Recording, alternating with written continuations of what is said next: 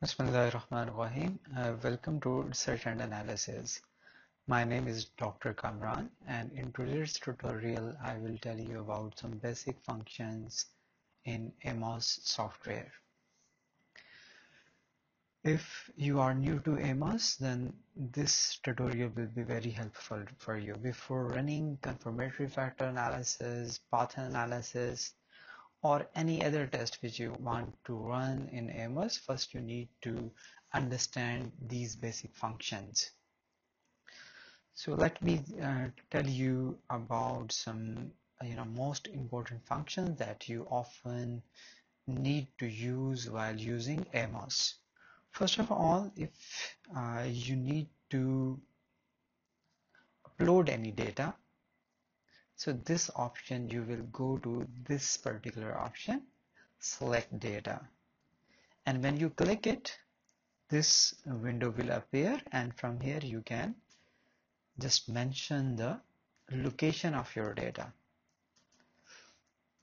So like in our case data cs. And from here this one. And just click ok when you click OK, so it means the data has been uploaded. So in order to make a diagram for any specific variable, we use this particular option. Just click this one and based on, you know, if you have so many variables, then it is very important just you just utilize this option rationally. Like for example, I just tried to make uh, you know the size as much which should be appropriate according to our requirements. Like if you have only one one or two variables then definitely it's easy you can draw a big uh, big circle. But if you have multiple variables then it is better just to uh, just to use less space so that you will have more space to add more variables like we are supposing a one variable that having three items so this is how you can draw it. So this option is very useful. Even after adding this particular variable this just for instance we are having this CSR and it containing three items. So we are just you know putting these three items here uh, items here against this variable But in case later on you need to add any more items, just simply click again and just press one more time. And from here you can just put the put the items as we have already done with the three items now we are interested to add one more so just click it and drag it here and after that like talk about these hand functions. This particular option is for if you want to select any particular object. Like this this. So this is how you can select as much items or the objects as you want. But what if you want to select all your objects that are given in a particular page then this second option. So just click it and so that all the objects are being selected. But in case if you want to deselect all you can just use this particular option. Right? So after that uh, let's talk about this particular option. This is more look like a radio. So what you can do by using this is you if you want to create another variable that having the same items like in this case we have four items and but if we have you know an, another variable that also contain the four items so it is very good if rather than you know just draw all the items you can we can just simply click this, this option and we can just yes. But the problem is is just only taking this one circle because because not all the objects are selected so if you want to duplicate the whole, uh, you know, the variable, then you must need to select first all the objects that are being attacked with one variable then you can actually duplicate. So let's do it again. First we need to select all and then just click this duplicate option and you can see now this is how we can duplicate one or more variables. And after that as we know that okay let first deselect all. Let's suppose these four items are related with TL so we can just simply so this is how we can put the values related to our next variable. So this duplicate option is very helpful. And then let's talk about our next option. This truck option this is also very useful if you want to just move any of your object.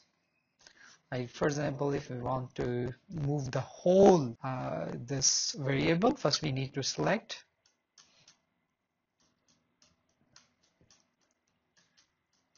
all the objects related to one variable because we are interested to move the complete variable.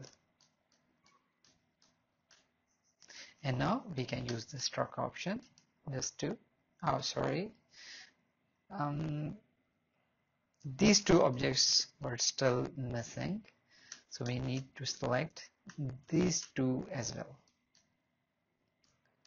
Now yes we are in a position just to move whole of our variable. As you have seen that I already use this particular option. By using this, you can erase any of your variable or the object as this whole variable is being selected. So this is how we can just delete the different objects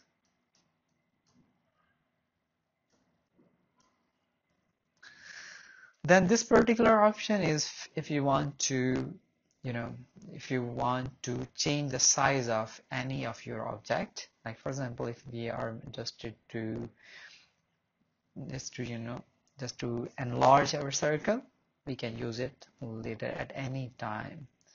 We can make different shapes and also this is how we can enlarge our different objects. Even this one as we see okay sorry. So based on your requirements you can make multiple changes. Now let's talk about this preserve symmetric option. This is also very useful. Let's discuss how to apply it. Let's suppose if we want to move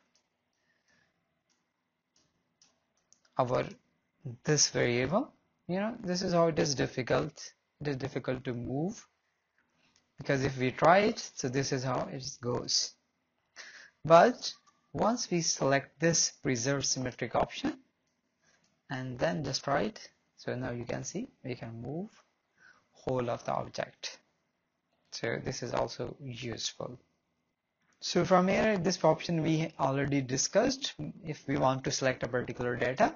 So from here you can add the location of your data and let's talk about the next option analysis properties. If you want to uh, add a particular option in your analysis so here you can find all those options. Numerics biases in the output if you need any any of these options or you want any of them in your in your output so you can click them. Bootstrap and so on and from here you can uh, uh, of course you can just uh, calculate your estimation. When you click it so all the analysis is being calculated and you will have a output file. If you want to change the direction of your objects then you can choose this option. Just click it and then you can, this is how you can change the direction of your objects. If you want to rename your objects just click it and this is how you can rename your objects. And in the end just let just talk about this plugin option. This is also very useful. Like for example in this um, diagram we have certain objects that are having the no name at all. So what we can do is just assign a name to all our objects that have no name at all this name unobserved variable. So you, you know you can see that all those those are objects that having no name a name is already just assigned to them just automatically by by using this plugin.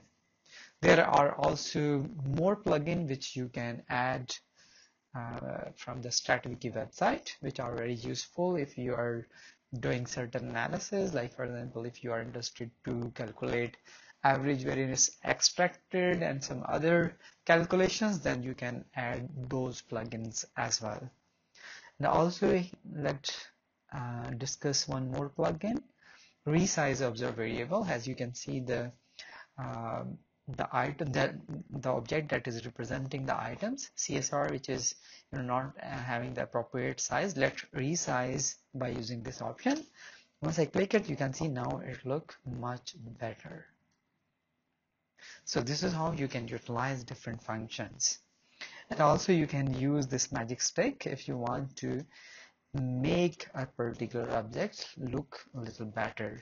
So sometimes it, uh, you know, work very well. So yes. And you know, again, this semantic option is very useful. As it already been selected. So this is how, but if it not been selected, so you can go. Yeah so it, it's quite disturbing. So let let's click and